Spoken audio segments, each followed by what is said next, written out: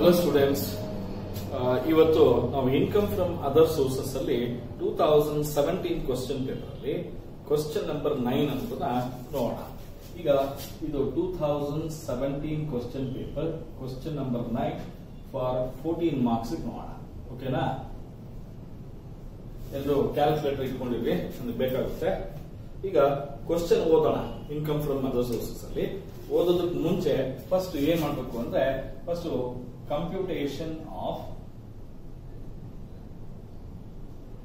income from other sources ಈ ತರ rules ಹಾಕೊಳ್ಬೇಕಾಗುತ್ತೆ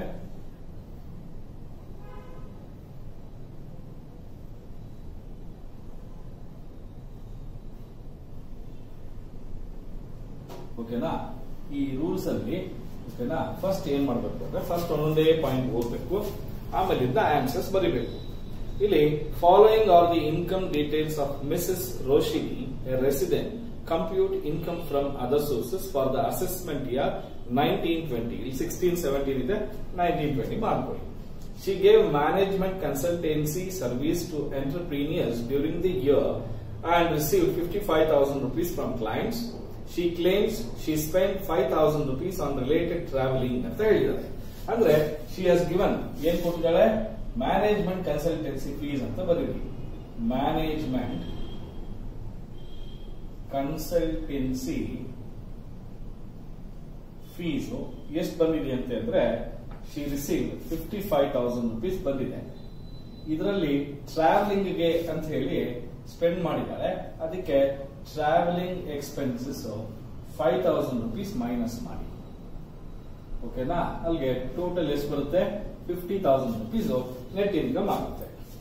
Next income from agriculture in Sri Lanka ಅಂತ ಇದೆ ನೋಡಿ income from agriculture in India is excepted but income from any other country other than India it is fully taxable so ಅದಕ್ಕೆ income from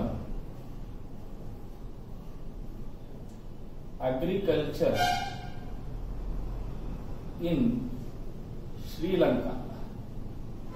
ಎಷ್ಟಿದೆ ಅಂದ್ರೆ twenty thousand rupees ಇದೆ. Tax ಮಾಡ. Next dividend from U T I ಅಂತ ಇದೆ. ನೋಡಿ any dividends from U T I ಓಕೆನಾ U T I is exempted ಅಂತ ಕರಿತೀವಿ. ಏನಿದು? ಯು ಟಿ ಐ ಅಂದ್ರೆ ಏನು? ಯು ಟಿ ಐ ಅಂದ್ರೆ units of unit trust of India ಅಂತ ಹೇಳಿ. Unit trust of India bonds ಏನಾದ್ರು ತಗೊಂಡಿದ್ರೆ, ಅದರಿಂದ ಡಿವಿಡೆನ್ಸ್ ಏನಾದ್ರು ಬಂದಿದ್ರೆ ಇಂಟ್ರೆಸ್ಟ್ ಏನಾದ್ರು ಬಂದಿದ್ರೆ, ಅದನ್ನ ನಾವು ಇನ್ಕಮ್ ಫ್ರಮ್ ಅದರ್ ಸೋರ್ಸಸ್ ಅಲ್ಲಿ ಫುಲ್ಲಿ ಎಕ್ಸೆಪ್ಟೆಡ್ ಮಾಡ್ತೀವಿ. Next interest on post office savings bank account POS B account ಇದು ಥೌಸಂಡ್ ರುಪೀಸ್ ಇದೆ ಆಕ್ಚುಲಿ ಆದ್ರೆ ಏನ್ ಮಾಡ್ತೀವಿ ಅಂದ್ರೆ ಈ previous year two thousand nineteen eighteen ಅಲ್ಲಿ it is exempted up to three thousand five hundred rupees ವರೆಗೂ ಇರೋದ್ರಿಂದ ಇಲ್ಲಿ ನಿಲ್ ಅಂತ ಬರುತ್ತೆ. ಅಂದ್ರೆ ನಿಮಗೆ post office savings bank account ಅಲ್ಲಿ ಏನಾದ್ರು ಇಂಟ್ರೆಸ್ಟ್ ಮೂರುವರೆ ಸಾವಿರಕ್ಕಿಂತಲೂ ಜಾಸ್ತಿ ಬಂದ್ರೆ ತ್ರೀ ತೌಸಂಡ್ ಫೈವ್ ಹಂಡ್ರೆಡ್ ಗಿಂತಲೂ ಜಾಸ್ತಿ ಬಂದ್ರೆ ಮಾತ್ರ ಟ್ಯಾಕ್ಸ್ ಮಾಡ್ತೀವಿ. ಸಪೋಸ್ ಒನ್ ತೌಸಂಡ್ ಪ್ಲೇಸ್ ಅಲ್ಲಿ ಟೆನ್ ತೌಸಂಡ್ ಬಂದಿದ್ರೆ, ಆಗ ತ್ರೀ ತೌಸಂಡ್ ಫೈವ್ ಹಂಡ್ರೆಡ್ನ ಎಕ್ಸೆಂಟ್ ಮಾಡಿ ಉಳಿದಿರೋ ಸಿಕ್ಸ್ ತೌಸಂಡ್ ಫೈವ್ ಹಂಡ್ರೆಡ್ನ ಏನ್ ಮಾಡ್ತಾ ಇದ್ವಿ? ಟ್ಯಾಕ್ಸ್ ಮಾಡ್ತಾ ಇದ್ವಿ. ಅಲ್ಲಿ ಬಂದಿರೋದೇ ಇಂಟ್ರೆಸ್ಟ್ ತೌಸಂಡ್ ರುಪೀಸ್ ಅದಕ್ಕೆ ಫುಲ್ಲಿ ಎಕ್ಸೆಪ್ಟೆಡ್ ಆಗುತ್ತೆ. Next she holds the following trans ಏನಂತೆ? ಸೆಕ್ಯೂರಿಟೀಸ್ ಅಂತ ಹೇಳ್ತಾರೆ. ಇನ್ವೆಸ್ಟ್ಮೆಂಟ್ಸ್ ಅಂತ ಹೇಳ್ತಾರೆ. ಇದರಲ್ಲಿ ಮೂರ್ ಪಾಯಿಂಟ್ ಇದೆ. ಈ ಮೂರು ಪಾಯಿಂಟ್ ಹೇಳಬೇಕು ಅಂದ್ರೆ ನಾನು ಇಂಟ್ರೆಸ್ಟ್ ಆನ್ ಸೆಕ್ಯೂರಿಟೀಸ್ ಬಗ್ಗೆ ಹೇಳಬೇಕಾಗುತ್ತೆ. ಈ ಹಿಂದೆ income from other sources two thousand seventeen question ಪೇಪರ್ನ ಸಾಲ್ವ್ ಮಾಡಿದೀವಿ ಇಂಗ್ಲಿಷ್ ಅಲ್ಲಿ ಮಾಡಿದ್ದೆ. ಈಗ ನಾನು ಕನ್ನಡದಲ್ಲೇ ಹೇಳ್ಕೊಡ್ತಾ ಇದ್ದೀನಿ. ಓಕೆನಾ ಎಲ್ಲರೂ ಕೇಳಿದ್ರು, ಸರ್ ಇಂಟ್ರೆಸ್ಟ್ ಆನ್ ಸೆಕ್ಯೂರಿಟೀಸ್ ನಮ್ಗೆ ಡೌಟ್ ಇದೆ. ಇನ್ನೊಂದ್ಸರಿ ಹೇಳ್ಕೊಡಿ ಅಂತ ಹೇಳಿದ್ರೆ ಈ ಹೇಳ್ಕೊಡ್ತೀನಿ, ನೋಡ್ಕೊಳ್ಳಿ. ನೋಡಿ ಸೆಕ್ಯೂರಿಟೀಸ್ ಅಂತ ಹೇಳಿದ್ರೆ ನಮ್ಗೆ ಎರಡು ತರ ಸೆಕ್ಯೂರಿಟೀಸ್ ಬರುತ್ತೆ. ಒಂದು ಗವರ್ಮೆಂಟ್ ಸೆಕ್ಯೂರಿಟೀಸ್ ಏನಿದು? ಗವರ್ಮೆಂಟ್ ಸೆಕ್ಯೂರಿಟೀಸ್ ಇನ್ನೊಂದು ನಾನ್ ಗವರ್ಮೆಂಟ್ ಸೆಕ್ಯೂರಿಟೀಸ್ ಅಂತ ಬರುತ್ತೆ. ಈ ಗವರ್ಮೆಂಟ್ ಸೆಕ್ಯೂರಿಟೀಸ್ ಅಲ್ಲಿ ಎರಡು ತರ ಇದೆ. ಒಂದು ಟ್ಯಾಕ್ಸ್ ಫ್ರೀ ಗವರ್ಮೆಂಟ್ ಸೆಕ್ಯೂರಿಟೀಸ್ ಇನ್ನೊಂದು less tax free government securities less tax free ಓಕೆನಾ ಅಥವಾ less tax less tax free securities ಅಂತ ಹೇಳಿ. ಈ ಟ್ಯಾಕ್ಸ್ ಫ್ರೀ ಸೆಕ್ಯೂರಿಟೀಸ್ ಅಂದ್ರೆ ಕೆಲವು ಸೆಕ್ಯೂರಿಟೀಸ್ನ ಗವರ್ಮೆಂಟ್ ಅಂದ್ರೆ ಸೆಂಟ್ರಲ್ ಗವರ್ಮೆಂಟ್ ಇಶ್ಯೂ ಮಾಡಿರುತ್ತೆ ಆ ಸೆಂಟ್ರಲ್ ಗವರ್ಮೆಂಟ್ ಇಶ್ಯೂ ಮಾಡಿರ್ತಕ್ಕಂತ ಎಲ್ಲಾ ಸೆಕ್ಯೂರಿಟೀಸ್ ಬಾಂಡ್ಸ್ ಮೇಲೆ ಇನ್ವೆಸ್ಟ್ಮೆಂಟ್ ಮಾಡಿದ್ರೆ ಅದರಲ್ಲಿ ಬರ್ತಕ್ಕಂತ interest completely exempted under the head income from other sources ಆಗುತ್ತೆ. ಇದರಲ್ಲಿ ಕ್ಲಿಯರ್ ಆಗಿ ಹೇಳಿದ್ದಾರೆ ಯಾವ ಯಾವವು ಅಂತ ಹೇಳಿ. ಈಗ ನಾವೇ ಹೇಳಿದಾಗೆ ಮೊದಲನೇದು ಡಿವಿಡೆನ್ಸ್ ಅಥವಾ interest on U T I ಅಂತ ಹೇಳಿದೆ ಎಕ್ಸೆಂಪ್ಟೆಡ್ ಗೋಲ್ಡ್ ಬಾಂಡ್ಸ್ ಮೇಲೆ ಪರ್ಚೇಸ್ ಮಾಡಿದ್ರೆ ಅದು ಕೂಡ ಎಕ್ಸೆಂಪ್ಟೆಡ್ ಓಕೆನಾ ಮತ್ತೆ ರಿಲೀಫ್ ಬಾಂಡ್ಸ್ ಅಂತ ಏನಾದರೂ ತಗೊಂಡಿದ್ರೆ ಓಕೆನಾ ಆ ಬಾಂಡ್ಸ್ ಮೇಲೆ ಬರ್ತಕ್ಕಂತ ಇಂಟ್ರೆಸ್ಟ್ ಕೂಡ ಎಕ್ಸೆಂಪ್ಟ್ ಆಗುತ್ತೆ. ಅದೇ ತರ ನ್ಯಾಷನಲ್ ಡಿಫೆನ್ಸ್ ಬಾಂಡ್ಸ್ ಏನಾದರೂ ತಗೊಂಡಿದ್ರೆ ಅದು ಕೂಡ ಎಕ್ಸಿಬಿಷನ್ ಆಗುತ್ತೆ. ಅದ್ರ ಮೇಲೆ ಬರ್ತಕ್ಕಂಥದ್ದು. ಅದೇ ತರ post office savings bank account ಅಲ್ಲಿ ಏನಾದ್ರು ಇಟ್ಟಿದ್ರೆ ಮೂರ್ ಸಾವಿರದ ಐನೂರವರೆಗೂ ಎಕ್ಸಾಮ್ಟ್ ಆಗುತ್ತೆ, ಉಳಿದಿರೋದನ್ನ ಟ್ಯಾಕ್ಸ್ ಮಾಡಬೇಕಾಗುತ್ತೆ. ಅದೇ ತರ national highway authority of India bonds N H A I ಅಂತ ಹೇಳ್ತೀವಿ. ಆ N H A I bonds ಏನಾದ್ರು ತಗೊಂಡಿದ್ರೆ ಅದರಲ್ಲಿ ಬರ್ತಕ್ಕಂತ ಇಂಟ್ರೆಸ್ಟ್ ಕೂಡ ಎಕ್ಸೆಂಪ್ಷನ್ ಸಿಗುತ್ತೆ. ಹಾಗೆ ರೂರಲ್ ಎಲೆಕ್ಟ್ರಿಫಿಕೇಶನ್ ಬಾಂಡ್ಸ್ ಅಂತ ಹೇಳ್ತೀವಿ. ಅದು ಕೂಡ ತಗೊಂಡಿದ್ವಿ. ಅಂದ್ರೆ ಈ ಹೆಸರುಗಳದ್ದು ಯಾವ್ದಾದ್ರು ಬಾಂಡ್ಸ್ ಕಾಣಿಸಿದ್ರೆ ಪ್ರಾಬ್ಲಮ್ನಲ್ಲಿ ಅದು ಕಂಪ್ಲೀಟ್ಲಿ ಏನಾಗುತ್ತೆ? ಟ್ಯಾಕ್ಸ್ ಫ್ರೀ ಅಥವಾ ಎಕ್ಸೆಂಪ್ಟೆಡ್ ಅಂತ ಕರಿತೀವಿ. ಕ್ಲಿಯರಾ ಈಗ ಲೆಸ್ ಟ್ಯಾಕ್ಸ್ ಅಂದ್ರೆ ಯಾವುದು? ಲೆಸ್ ಟ್ಯಾಕ್ಸ್ ಗವರ್ನಮೆಂಟ್ ಸೆಕ್ಯೂರಿಟೀಸ್ ಇವು ಯಾವ ಇಲ್ಲ ಅಂತಂದ್ರೆ ಓಕೆನಾ ಈ ಲಿಸ್ಟ್ ಅಲ್ಲಿ ಕಾಣಿಸೋವು ಅಲ್ಲದ ಹಾಗೆ ಬೇರೆ ಯಾವುದೇ ಗವರ್ನಮೆಂಟ್ ಸೆಕ್ಯೂರಿಟೀಸ್ನ ನಾವು ಲೆಸ್ ಟ್ಯಾಕ್ಸ್ ಸೆಕ್ಯೂರಿಟೀಸ್ ಅಂತ ಕರಿತೀವಿ. ಕ್ಲಿಯರಾ ಅಂದ್ರೆ ಈ ಲಿಸ್ಟ್ ಅಲ್ಲಿ ಇಲ್ಲದೆ ಇರತಕ್ಕಂಥವೆಲ್ಲ ಕೂಡ ಏನಾಗುತ್ತೆ? ಲೆಸ್ ಟ್ಯಾಕ್ಸ್ ಅಲ್ಲಿ ಬರುತ್ತೆ. ಅದನ್ನ ಏನ್ ಮಾಡಬೇಕು ಅಂತ ನಾನು ಹೇಳ್ಕೊಡ್ತೀನಿ. ಕ್ವಶನ್ ಅಲ್ಲಿ ಬಂದಾಗ ನಾ ಹೇಳ್ಕೊಡ್ತೀನಿ. ಆದ್ರೆ ಇಲ್ಲಿ ಏನು ಇಲ್ಲ.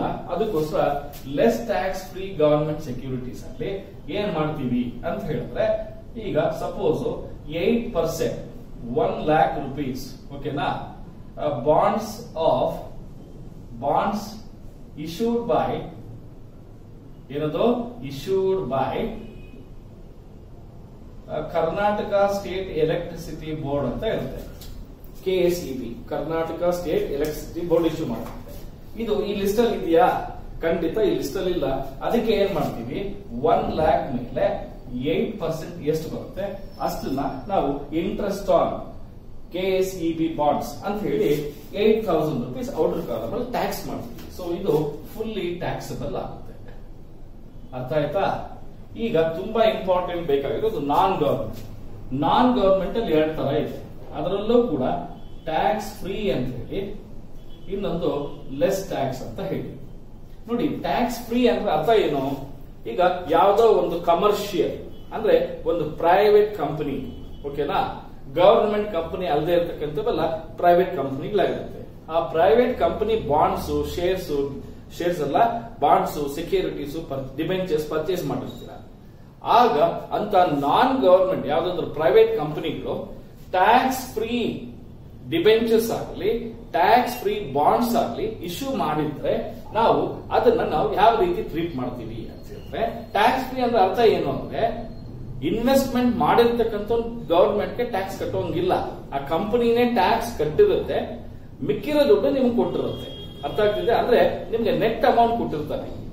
ಗ್ರಾಸ್ ಅಮೌಂಟ್ ಅಲ್ಲಿ ಟ್ಯಾಕ್ಸ್ ಇಟ್ಕೊಂಡು ಉಳಿದಿರೋ ಅಮೌಂಟ್ ಕೊಟ್ಟಿರ್ತಾನೆ ನಿಮ್ಗೆ. ಅದಕ್ಕೋಸ್ಕರ ನಮ್ಗೆ ಅದನ್ನ ಟ್ಯಾಕ್ಸ್ ಫ್ರೀ ಅಂದ್ರೆ ನೀವು ಕಟ್ಟೋ ಅವಶ್ಯಕತೆ ಇಲ್ಲ ಅಷ್ಟೇ. ನಿಮ್ ಬದಲಾಗಿ ಕಂಪನಿ ಕಟ್ಬಿಟ್ಟಿರುತ್ತೆ. ನಿಮ್ಗೆ ಇಂಟ್ರೆಸ್ಟ್ ಯಾರು ಕೊಡ್ತಾರೆ? ಅವರು ಕಟ್ಬಿಟ್ಟಿರ್ತಾರೆ. ಇಲ್ಲಿ ಆ ತರದ್ದೇ ಒಂದು ಪಾಯಿಂಟ್ ಇದೆ ನೋಡಿ. She holds the following investments one lakh nine percent tax free commercial securities ನೋಡಿ, ಈ word tax free commercial securities ಅಂತ ಇದೆ. ಅದು ಕಮರ್ಷಿಯಲ್ ಅಂದ್ರೆ ಏನು? ಅರ್ಥ ನಾನ್ ಗವರ್ಮೆಂಟ್ ಅಂತ ಅರ್ಥ. ಕರೆಕ್ಟಾ ಇವಾಗ ಏನ್ ಮಾಡಬೇಕು ಈ ಪ್ರಾಬ್ಲಮ್ನಲ್ಲಿ ಅವನು ರೇಟ್ ಆಫ್ ಟ್ಯಾಕ್ಸ್ ಕೊಟ್ಟಿದ್ದಾನೆ, ಎಷ್ಟು ಅಮೌಂಟ್ ನಾವು ಆ ಸೆಕ್ಯೂರಿಟೀಸ್ ಮೇಲೆ ಇನ್ವೆಸ್ಟ್ಮೆಂಟ್ ಮಾಡಿದೀವಿ ಅಂತ ಕೊಟ್ಟಿದ್ದಾನೆ, ಇದ್ರ ಮೇಲೆ ನೈನ್ ಪರ್ಸೆಂಟ್ ಮಾಡಿದ್ರೆ, ಎಷ್ಟು ಬರುತ್ತೆ ನಮ್ಗೆ ಅಂದ್ರೆ ನೈನ್ ತೌಸಂಡ್ ರುಪೀಸ್ ಬರುತ್ತೆ. ಕರೆಕ್ಟಾ ಆಕ್ಚುಯಲ್ ಆಗಿ ಅಮೌಂಟ್ ನೀವು ಒಂದು ಲಕ್ಷ ರೂಪಾಯಿ ಈ ಟ್ಯಾಕ್ಸ್ ಫ್ರೀ ಕಮರ್ಷಿಯಲ್ ಸೆಕ್ಯೂರಿಟೀಸ್ ಮೇಲೆ ಇನ್ವೆಸ್ಟ್ಮೆಂಟ್ ಮಾಡಿದ್ರ ನಿಮಗೆ ಒಂಬತ್ತು percent interest nine thousand rupees ಬಂದಿದೆ. ನಾನೇನ್ ಹೇಳಿದ್ದೆ? ಟ್ಯಾಕ್ಸ್ ಇಟ್ಕೊಂಡಿರ್ತಾನೆ. ಎಷ್ಟು ಇಟ್ಕೊಂಡಿರ್ತಾನೆ? ಹತ್ತು ಪರ್ಸೆಂಟ್ ಟ್ಯಾಕ್ಸ್ ಇಟ್ಕೊಂಡಿರ್ತಾನೆ. ಹಾಗಾದ್ರೆ ನೋಡಿ, ನೂರು ರೂಪಾಯಿನಲ್ಲಿ ಹತ್ತು ರೂಪಾಯಿ ಹೋದ್ರೆ ಎಷ್ಟು? ತೊಂಬತ್ತು ರೂಪಾಯಿ ಇರುತ್ತೆ. ಅಲ್ಲಿಗೆ ಒಂಬತ್ತು ಸಾವಿರ ರೂಪಾಯಿ ಅದು ತೊಂಬತ್ ಪರ್ಸೆಂಟ್ ಆಗಿರುತ್ತೆ ನಾವ್ ಎಷ್ಟಕ್ಕೆ ಮಾಡಬೇಕು? ಹಂಡ್ರೆಡ್ಗೆ. ಎಷ್ಟು ಬರುತ್ತೆ? ಟೆನ್ ತೌಸಂಡ್ ರುಪೀಸ್ ಬರುತ್ತೆ. ಹಾಗಾದ್ರೆ ಗ್ರಾಸ್ ಇನ್ಕಮ್ ಎಷ್ಟಾಯ್ತು? ಟೆನ್ ತೌಸಂಡ್ ರುಪೀಸ್ ಆಯ್ತು. ನಾವು ಅದನ್ನೇ ಇದನ್ನ ತೋರಿಸಬೇಕಾಗುತ್ತೆ. ಏನಂತ? Interest on tax free commercial securities ಓಕೆನಾ ಈಗ one lakh into nine percent ಮಾಡಿದ್ರೆ ನೈನ್ ತೌಸಂಡ್ ಬರುತ್ತೆ, ಇದು ನೈಂಟಿ ಪರ್ಸೆಂಟ್ ಆದ್ರೆ ಹಂಡ್ರೆಡ್ ಪರ್ಸೆಂಟ್ ಎಷ್ಟಾಗುತ್ತೆ ಅದನ್ನ ನಾವು ಎಷ್ಟಂತ ಬರೀಬೇಕು? ಟೆನ್ ತೌಸಂಡ್ ಅಂತ ಬರೀಬೇಕಾಗುತ್ತೆ. ಓಕೆನಾ? ಇದನ್ನೇ ನಾವು ಗ್ರಾಸಿಂಗ್ ಅಪ್ ಆಫ್ ಇನ್ಕಮ್ ಅಂತ ಹೇಳ್ತೀವಿ. ಅಂದ್ರೆ ನೆಟ್ ಅಮೌಂಟ್ ಕೊಟ್ಟಿರ್ತಾನೆ, ಅದನ್ನ ಗ್ರಾಸ್ ಅಮೌಂಟ್ ಮಾಡ್ಕೊಳ್ಬೇಕು. ಅಂತದನ್ನ ಗ್ರಾಸಿಂಗ್ ಅಪ್ ಅಂತ ಹೇಳ್ತೀವಿ. ಕ್ಲಿಯರಾ ಅಂದ್ರೆ ಕ್ವಶನ್ ಅಲ್ಲಿ ಹೇಳಿರ್ಬೇಕು ಏನಂತ? ಅದು ನಾನ್ ಗವರ್ಮೆಂಟೇ ಆಗಿರ್ಬೇಕು. ವರ್ಡ್ ಟ್ಯಾಕ್ಸ್ ಫ್ರೀ ಅಂತಾನೆ ಇರಬೇಕು. ಅವಾಗ ಮಾತ್ರನೇ ಈ ತರ ಮಾಡ್ತೀವಿ. ಗ್ರಾಸ್ ಅಪ್ ಮಾಡ್ತೀವಿ. ಕ್ಲಿಯರಾ ಈಗ ನೆಕ್ಸ್ಟ್ ನಾವು ಲೆಸ್ ಟ್ಯಾಕ್ಸ್ ಗವರ್ಮೆಂಟ್ ಓದೋಣ. ಇನ್ನೊಂದೇನಿದೆ? Thirty thousand seven percent debentures of Canara mills limited ಅಂತ ಇದೆ. ನೋಡಿ, ಇಲ್ಲಿ ಮೂವತ್ ಸಾವಿರ ರೂಪಾಯಿ ಇನ್ವೆಸ್ಟ್ಮೆಂಟ್ ಮಾಡಿದ್ದಾನೆ. ವರ್ಷಕ್ಕೆ ಏಳು ಪರ್ಸೆಂಟ್ ಸೆವೆನ್ ಪರ್ಸೆಂಟ್ ಇಂಟ್ರೆಸ್ಟ್ ಬರುತ್ತೆ ಡಿಬೆಂಚರ್ಸ್ ಮೇಲೆ. ಯಾವ ಕಂಪನಿ ಅದು? ಕೆನರಾ ಮಿಲ್ಸ್ ಕೆನರಾ ಮಿಲ್ಸ್ ಯಾವುದು? ಪ್ರೈವೇಟ್, ಅಂದ್ರೆ ನಾನ್ ಗವರ್ಮೆಂಟ್ ಅಲ್ಲಿ ಟ್ಯಾಕ್ಸ್ ಫ್ರೀ ಅನ್ನೋ ವರ್ಡ್ ಇದೆಯಾ? ಇಲ್ಲ. ಹಾಗಾದ್ರೆ ಅಂತವೆಲ್ಲ ಏನಾಗುತ್ತೆ? ಲೆಸ್ ಟ್ಯಾಕ್ಸ್ ಆಗುತ್ತೆ. ಹಾಗಾದ್ರೆ ಲೆಸ್ ಟ್ಯಾಕ್ಸ್ ಅಲ್ಲಿ ಎರಡು ತರ ಬರುತ್ತೆ ನಾನು ಹೇಳ್ಕೊಡ್ತೀನಿ. ಟೋಟಲ್ ಇನ್ವೆಸ್ಟ್ಮೆಂಟ್ ಮಾಡಿರೋದು ಎಷ್ಟು? ಮೂವತ್ ಸಾವಿರ. ಇದ್ರ ಮೇಲೆ ಸೆವೆನ್ ಪರ್ಸೆಂಟ್ ಎಷ್ಟಾಗುತ್ತೆ two thousand one hundred rupees ಆಗುತ್ತೆ. ಕರೆಕ್ಟಾ ಸೊ ಹಾಗಾದ್ರೆ ಇದನ್ನ ನಾವು ಈ ತರ ಏನಾದ್ರೂ ಗ್ರಾಸ್ ಅಪ್ ಮಾಡ್ಬೇಕಾ ಸರ್? ಅಂದ್ರೆ ಬೇಡ. ಅದನ್ನೇ ನಾ ಹೇಳ್ತಾ ಇರೋದು. ನಾನು ಟ್ಯಾಕ್ಸ್ ಅನ್ನ ಡಿಡಕ್ಟ್ ಮಾಡಿರಲ್ಲ, ನಿನಗೆ ಫುಲ್ ಅಮೌಂಟ್ ಕೊಡ್ತೀನಿ. ನೀನೇ ಟ್ಯಾಕ್ಸ್ ಕಟ್ಕೋ ಅಂತ ಹೇಳ್ತಾ ಇದ್ದಾರೆ. ಸೊ ಇಲ್ಲಿ ರೇಟ್ ಆಫ್ ಟ್ಯಾಕ್ಸ್ ಮತ್ತೆ ಅಮೌಂಟ್ ಆಫ್ ಇನ್ವೆಸ್ಟ್ಮೆಂಟ್ ಎರಡು ಕೊಟ್ಟಿದ್ದಾಗ ಟ್ಯಾಕ್ಸ್ ಫ್ರೀ ಡಿಬೆಂಚರ್ಸ್ ಅಂತ ಕೊಟ್ಟಿಲ್ಲದೆ ಇದ್ದಾಗ, ಆವಾಗ ನಾವು ಈ ತರ ಮಾಡಬೇಕು. ಕ್ಲಿಯರಾ ಈಗ ಇದು ಬರೀತೀವಿ ಏನಂತ? Interest on debentures of Canara mills ಓಕೆನಾ ಎಷ್ಟದು ನೋಡಿ thirty thousand into seven percent is two thousand one hundred rupees fully taxable outer column ಅಲ್ಲಿ ಹಾಕ್ಬಿಟ್ಟೆ. ಓಕೆನಾ ಈಗ ಇನ್ನೇನಿದೆ ಪಾಯಿಂಟ್ ಅಂದ್ರೆ seventy two thousand ten percent tax free debentures of L I C of India ಅಂತ ಹೇಳ್ತಾ ಇದು L I C of India ಇದು ಮೇ ಬಿ ಗವರ್ಮೆಂಟ್ ಆಫ್ ಇಂಡಿಯಾದೇ ಆಗಿರ್ಬೋದು. ಆದ್ರೆ ನಾನು ಹೇಳ್ತಾ ಇರೋದೇನು ಸೆಂಟ್ರಲ್ ಗವರ್ನಮೆಂಟ್ ಬಾಂಡ್ಸ್ ಆಗಿರ್ಬೇಕು. ಗವರ್ನಮೆಂಟ್ ಬಾಂಡ್ಸ್ ಅಂದ್ರೆ ಏನು? ಸ್ಟೇಟ್ ಮತ್ತೆ ಸೆಂಟ್ರಲ್ದು ಎಲ್ ಐ ಸಿ ಗವರ್ನಮೆಂಟ್ ಬರೋದಿಲ್ಲ, ಅದು ಪ್ರೈವೇಟ್ ಬರುತ್ತೆ. ಹಾಗಾದ್ರೆ ಇಲ್ಲೂ ಏನಂತ ಇದೆ? Seventy two thousand ten percent tax free debentures ನೋಡಿ ನಾನ್ ಗವರ್ಮೆಂಟ್ ಟ್ಯಾಕ್ಸ್ ಫ್ರೀ ಹಾಗಾದ್ರೆ ಏನ್ ಮಾಡಬೇಕು? ಗ್ರಾಸ್ ಅಪ್ ಮಾಡಬೇಕು. ಸೊ ದೇರ್ ಫೋರ್ ಏಳನೇ point interest on tax free debentures of L I C ಎಷ್ಟಿದೆ? Seventy two thousand into ten percent is seven thousand two hundred ಕರೆಕ್ಟಾ ಇದು ಎಷ್ಟಕ್ಕಿರುತ್ತೆ? ನೈಂಟಿ ಪರ್ಸೆಂಟ್ ಹತ್ತು ಪರ್ಸೆಂಟ್ ಟ್ಯಾಕ್ಸ್ ಇಟ್ಕೊಂಡಿರ್ತಾರೆ. ಅಲ್ಲಿಗೆ ನಿನಗೆ ಎಷ್ಟಾಗುತ್ತೆ? ಏಟ್ ತೌಸಂಡ್ ರುಪೀಸ್ ಬರುತ್ತೆ. ಇದು ಗ್ರಾಸ್ ಇನ್ಕಮ್ ಆಗುತ್ತೆ. ಅಲ್ಲಿಗೆ ಅವ್ನು ಕೊಟ್ಟಿರ್ತಕ್ಕಂಥ ಡಿವೆಂಚರ್ಸ್ ಇಂಟ್ರೆಸ್ಟ್ ಪಾರ್ಟ್ ಎಲ್ಲ ಮುಗೀತು. ಇನ್ನು ಲಾಸ್ಟ್ ಪಾಯಿಂಟ್ ಏನಿದೆ ಅಂತ ಹೇಳಿ ಸರ್ ಇದ್ರ ಬಗ್ಗೆ ಇನ್ನೊಂದು ಹೇಳಿಲ್ಲಲ್ವಾ ಸರ್ ಅಂದ್ರೆ, ಈಗ ಲೆಸ್ ಟ್ಯಾಕ್ಸ್ ಅಲ್ಲಿ ಎರಡು ಅಂತ ಹೇಳಿದೆ. ಯಾವ್ದ್ರಲ್ಲಿ ಟ್ಯಾಕ್ಸ್ ಫ್ರೀ ಇರಲ್ಲ ಹೊರಡು, ಆ ಪ್ರೈವೇಟ್ ಅಥವಾ ಕಮರ್ಷಿಯಲ್ ಅಲ್ಲಿ, ಅವೆಲ್ಲ ಲೆಸ್ ಟ್ಯಾಕ್ಸ್ ನಾನ್ ಗವರ್ಮೆಂಟ್ ಅಂತ ಹೇಳಿದೆ. ಆ ನಾನ್ ಗವರ್ಮೆಂಟ್ ಲೆಸ್ ಟ್ಯಾಕ್ಸ್ ಅಲ್ಲಿ ಪರ್ಸೆಂಟೇಜು ಕೊಟ್ಟಿದ್ದು ಅಮೌಂಟು ಕೊಟ್ಟಿದ್ರೆ ಡೈರೆಕ್ಟ್ ಆಗಿ ಅಮೌಂಟ್ ಇಂಟು ಪರ್ಸೆಂಟೇಜ್ ಹಾಕೋಣ ಇದು ಟ್ಯಾಕ್ಸ್ ಫ್ರೀ ಅನ್ನೋ ಹೊರಟಿದ್ರೆ ಇನ್ವೆಸ್ಟ್ಮೆಂಟ್ ಮೇಲೆ ಎಷ್ಟು ಪರ್ಸೆಂಟ್ ಕೊಟ್ಟಿದ್ದಾನೋ ಅಷ್ಟು percent hockey divided by ninety into hundred ಮಾಡಬೇಕು. ಆವಾಗ ಗ್ರಾಸ್ ಅಮೌಂಟ್ ಬರುತ್ತೆ. ಸಪೋಸ್ ಅವನೇನಾದ್ರೂ ರೇಟ್ ಆಫ್ ಟ್ಯಾಕ್ಸ್ ಕೊಟ್ಟಿಲ್ಲ. ಏನ್ ಕೊಟ್ಟಿಲ್ಲ? ರೇಟ್ ಆಫ್ ಟ್ಯಾಕ್ಸ್ ಕೊಟ್ಟಿಲ್ಲ. ಹಾಗಾದ್ರೆ ಏನ್ ಕೊಟ್ಟಿರ್ತಾನೆ? ಎಷ್ಟು ಇಂಟ್ರೆಸ್ಟ್ ಅಮೌಂಟ್ನ ಆನ್ ಮಾಡಿದ್ಯಾ ಅಂತ ಕೊಟ್ಟಿರ್ತಾನೆ. ಸೇ ಫಾರ್ ಎಕ್ಸಾಂಪಲ್ ಏನಂತ ಹೇಳ್ತಾನೆ, ಈ ತರ ಹೇಳ್ತಾನೆ. Rupees seven thousand two hundred interest received from M N C company ಅಥವಾ ಕೆನರಾ ಮಿಲ್ಸ್ ಲಿಮಿಟೆಡ್ ಅಂತ ಇರುತ್ತೆ. ಆವಾಗ ಇಂಟ್ರೆಸ್ಟ್ ಅಮೌಂಟ್ ಎಷ್ಟು? Seven thousand two hundred direct ಆಗಿ ಕೊಟ್ಟಿರೋದ್ರಿಂದ ಗ್ಯಾರಂಟಿ ಅದರಲ್ಲಿ ಟ್ಯಾಕ್ಸ್ನ ಮುರ್ಕೊಂಡೆ ಕೊಟ್ಟಿರ್ತಾನೆ. ಎಷ್ಟು ಟ್ಯಾಕ್ಸ್ ಪರ್ಸೆಂಟೇಜ್ ಟೆನ್ ಪರ್ಸೆಂಟ್ ಹಾಗಾದ್ರೆ ಇಂಟ್ರೆಸ್ಟ್ ಬಂದಿರೋದೆಷ್ಟಕ್ಕೆ? ನೈಂಟಿಗೆ ಹಂಡ್ರೆಡ್ ಎಷ್ಟು ಅಂತ ಇಲ್ಲೂ ಮಾಡ್ಬೇಕಾಗುತ್ತೆ. ಅಲ್ಲಿಗೆ ಗ್ರಾಸ್ ಅಪ್ ಮಾಡಬೇಕಾಗಿರೋದು tax free debentures commercial debentures private ಅಂತ ಹೇಳಿದಾಗ ಗ್ರಾಸ್ ಅಪ್ ಮಾಡಬೇಕು. ಬರೀ ಇಂಟ್ರೆಸ್ಟ್ ಅಮೌಂಟ್ ಮಾತ್ರ ಕೊಟ್ಟಿದ್ದಾಗ ಕೂಡ ಗ್ರಾಸ್ ಅಪ್ ಮಾಡಬೇಕು. ಅರ್ಥ ಆಗ್ತಿದ್ಯಾ ಇದು ತುಂಬಾ ಇಂಪಾರ್ಟೆಂಟ್ ಪಾಯಿಂಟ್ ಈಗ ಕ್ವಶನ್ ಬರೋಣ. ಸಿಕ್ಸ್ತ್ ಪಾಯಿಂಟ್ ಏನ್ ಹೇಳಿದ್ದಾನೆ ಇದರಲ್ಲಿ she lives in a rented house and pays rent of six thousand per month ನೋಡಿ, ಇವಳು ಒಂದು ಮನೆ ಬಾಡಿಗೆನಲ್ಲಿದ್ದಾಳೆ. ಬಾಡಿಗೆಗೆ ಮನೆ I mean to say that she is living in a rented house R ಸಾವಿರ ರೂಪಾಯಿ ಒಂದು ತಿಂಗಳಿಗೆ ರೆಂಟ್ ಕೊಡ್ತಾ ಇದ್ದಾಳೆ. ಈ ಮನೆಯನ್ನ she sublet one third portion of the house on a rent of three thousand per month ಅಂತ ಹೇಳ್ತಾ ಇದ್ದಾರೆ ಅಲ್ಲಿಗೆ how much she is charging rent for that one third house ಎಷ್ಟು ಚಾರ್ಜ್ ಮಾಡ್ತಾ ಇದ್ದಾಳೆ ಒನ್ ಥರ್ಡ್ ಹೌಸ್ಗೆ ಅಂದ್ರೆ, ನೋಡಿ from subletting three thousand into twelve ಎಷ್ಟಾಗುತ್ತೆ? ಥರ್ಟಿ ಸಿಕ್ಸ್ ತೌಸಂಡ್ ರುಪೀಸ್ ಬಂದಿದೆ. ಆಕ್ಚುಯಲ್ ಆಗಿ ಆಕ್ಚುಯಲ್ ರೆಂಟ್ ಓಕೆನಾ ಎಷ್ಟಕ್ಕೆ? ಆರ್ ಸಾವಿರ ರೂಪಾಯಿ ಫುಲ್ ಮನೆಗೆ ಇದರಲ್ಲಿ ಒನ್ ಥರ್ಡ್ ಅಂದ್ರೆ ಎಷ್ಟು ಕೊಟ್ಟಿರ್ತಾಳೆ? ಎಷ್ಟು ಬರುತ್ತೆ? ಮೂರ್ ಸಾವಿರ ರೂಪಾಯಿ ಆಕ್ಚುಲಿ ಆ ಮನೆನ ಸಪ್ಲೇಟ್ ಮಾಡಬೇಕಾಗಿದ್ದು ಎಷ್ಟಕ್ಕೆ ಎರಡ್ ಸಾವಿರಕ್ಕಷ್ಟೇ ಬಟ್ ಅವಳು ಎಷ್ಟಕ್ಕೆ ಮಾಡಿದಾಳೆ ಮೂರ್ ಸಾವಿರಕ್ಕೆ. ಹಾಗಾದ್ರೆ ಆಕ್ಚುಯಲ್ ರೆಂಟ್ ಎಷ್ಟಾಗುತ್ತೆ? ವರ್ಷಕ್ಕೆ ಇಪ್ಪತ್ನಾಲ್ಕು ಸಾವಿರ ಆಗುತ್ತೆ. ಹೌದಾ? ಅದೇ ತರ ಫುಲ್ ಮನೆಗೆ ಅವಳು ಮುನ್ಸಿಪಲ್ ಟ್ಯಾಕ್ಸಸ್ ಸಾವಿರದ ಐನೂರು ರೂಪಾಯಿ ಕಟ್ಟಿದ್ದಾಳೆ. ಅಲ್ಲಿಗೆ municipal taxes municipal tax full ಮನೆ ಸಾವಿರದ ಐನೂರು ರೂಪಾಯಿ ಅಂದ್ರೆ ಒನ್ ಥರ್ಡ್ ಪೋರ್ಷನ್ ಎಷ್ಟು ಬರುತ್ತೆ? ಐನೂರು ರೂಪಾಯಿ ಬರುತ್ತೆ.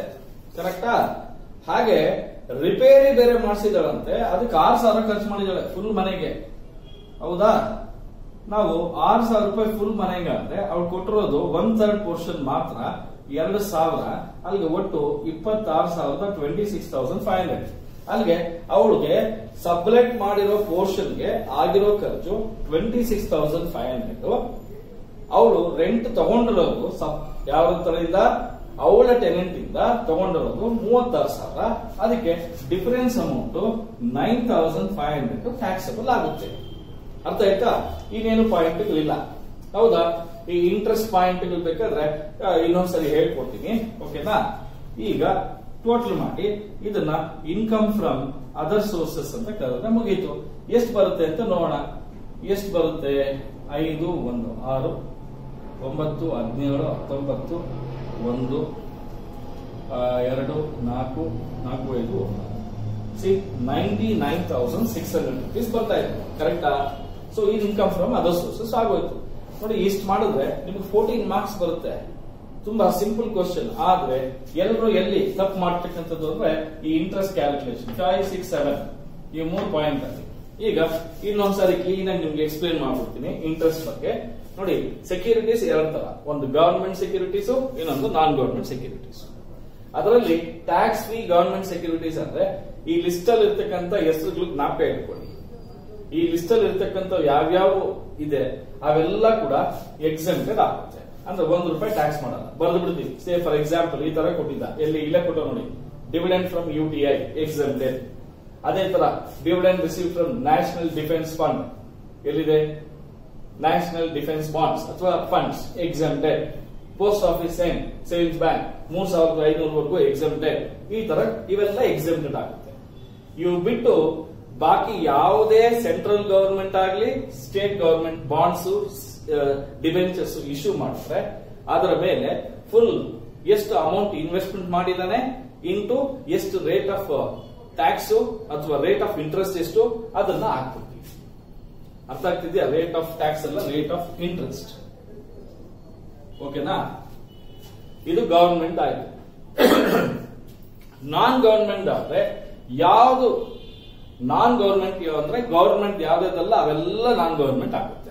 ಯಾವ್ದಾದದು say word tax free non government securities less tax non government tax free ಆಗಿರ್ಬೇಕು ಅಂದ್ರೆ, ಅಲ್ಲಿ ಪ್ರಾಬ್ಲಮ್ ಅಲ್ಲಿ ಕ್ಲಿಯರ್ ಆಗಿ ಮೆನ್ಷನ್ ಮಾಡಿರಬೇಕು. ಏನಂತ? Tax free debentures tax free commercial securities ಅಂತ ಹೇಳಿದ್ರೆ ಡೆಫಿನೆಟ್ ಆಗಿ ನಿಮಗೆ rate of interest amount of investment ಎರಡೂ ಕೊಟ್ಟಿರ್ತಾನೆ. ಅದನ್ನ ಕ್ಯಾಲ್ಕುಲೇಟ್ ಮಾಡಿ, ನೋಡಿ ಇಲ್ಲಿ one lakh into nine percent ಅಂದ್ರೆ ನೈನ್ ತೌಸಂಡ್ ಇದನ್ನ ಗ್ರಾಸ್ ಅಪ್ ಮಾಡಬೇಕು. Divided by ninety into hundred ಮಾಡಿಬಿಟ್ರೆ ಟೆನ್ ತೌಸಂಡ್ ತಗೊಳ್ಬೇಕಾಗುತ್ತೆ. ಈ ತರ ರೇಟ್ ಆಫ್ ಇಂಟ್ರೆಸ್ಟ್ ಅಮೌಂಟ್ ಕೊಟ್ಟಿಲ್ಲ ಅಂದ್ರೆ ಡೆಫಿನೆಟ್ ಆಗಿ ಏನಾಗಿರುತ್ತೆ? ಇಂಟ್ರೆಸ್ಟ್ ಅಮೌಂಟ್ ಕೊಟ್ಟಿರ್ತಾರೆ ಆವಾಗ ನೀವು ಕೂಡ ಏನ್ ಮಾಡಬೇಕು? ಗ್ರಾಸ್ ಅಪ್ ಮಾಡಬೇಕು. Suppose tax free debentures tax free commercial ಅನ್ನೋ ವರ್ಡ್ ಕೊಟ್ಟಿಲ್ಲ ಅಂದ್ರೆ ಅಂತವೆಲ್ಲ ಏನಾಗುತ್ತೆ? ಲೆಸ್ ಟ್ಯಾಕ್ಸ್ ಆಗುತ್ತೆ. ಅರ್ಥ ಆಗ್ತಿದ್ಯಾ? ಈಗ for example one lakh ten percent debentures of Anand mill paper mills limited ಅಂತ ಕೊಟ್ಟಿರ್ತಾರೆ ಅಲ್ಲಿ ಟ್ಯಾಕ್ಸ್ ಫ್ರೀ ಇದೆಯಾ? ಇಲ್ಲ. ಹಾಗಾದ್ರೆ one lakh into ten percent ten thousand fully taxable direct ಆಗಿ ಮಾಡಬಹುದು ಕ್ಲಿಯರಾ ಸೊ ಇದನ್ನ ದಯವಿಟ್ಟು ಕಲ್ತ್ಕೊಳ್ಳಿ. ಇದು ಟೂ ತೌಸಂಡ್ ಸೆವೆಂಟೀನ್ ಅಲ್ಲಿ ಕ್ವಶನ್ ನಂಬರ್ ನೈನ್ ಅಲ್ಲಿ ಫೋರ್ಟೀನ್ ಮಾರ್ಕ್ಸ್ ಕೇಳಿರ್ತಕ್ಕಂಥ ಕ್ವಶನ್ ಇದನ್ನ ತುಂಬಾ ಸುಲಭವಾಗಿ ಹತ್ತರಿಂದ ಹದಿನೈದು ನಿಮಿಷದಲ್ಲಿ ಆನ್ಸರ್ ಇಟ್ಟು ಫೋರ್ಟೀನ್ ಮಾರ್ಕ್ಸ್ ಪಡೆಯುವಂತ ಪ್ರಾಬ್ಲಮ್. ಓಕೆನಾ ನಿಮ್ಗೆ ಏನಾದ್ರು ಡೌಟ್ಸ್ ಇದ್ರೆ ದಯವಿಟ್ಟು ಕಾಮೆಂಟ್ ಬಾಕ್ಸ್ ಅಲ್ಲಿ ಥ್ಯಾಂಕ್ ಯು